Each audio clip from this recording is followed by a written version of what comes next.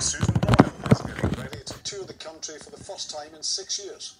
The 10 tour begins on Sunday night in Edinburgh's Usher Hall, and Laura Boyd joined Susan at rehearsals in Glasgow to chat about her impressive career.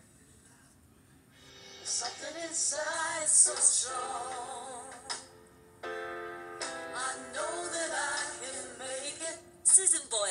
Boyle putting the finishing touches to her forthcoming 10 tour, celebrating 10 years since she first appeared on our screens in that now infamous Britain's Got Talent audition. It's a long time. This went by in a flash. You know, there's been a lot of good things and a lot of standout things like meeting the Pope.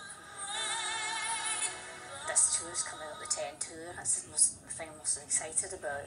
So it is your tour, but you're joined by another familiar face. How are you feeling about joining this tour? I'm really excited. I think it'll be really good. I remember seeing Susan on the show and thinking, you know, you were someone like me who wanted to be a singer, who wanted to realise her dreams. It was nice, and now getting to, to see you and be next to you and tour with you, it's, it's, you. it's going to be wonderful.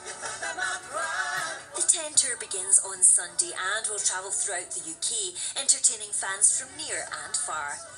I will be travelling to Scotland in March to go see her. I think it is so worth going to see Susan in Scotland because uh, Susan is a rare gem. if you see someone beaming from one ear to the other in the audience in Dundee or Glasgow, it's me. Well, in these 10 years, I've seen her quite a few times, at least 25 times. Well, without the fans, you can't really have a, a career because they, they, get- they, they t- take your albums, you they uh, come and see you. So I hope to do my best for them.